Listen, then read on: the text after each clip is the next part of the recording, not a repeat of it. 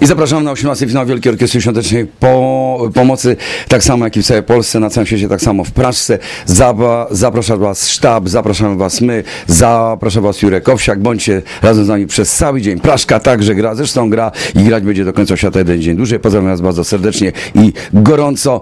W Praszce gra orkiestra. I to nie pierwszy raz. Cześć, siema.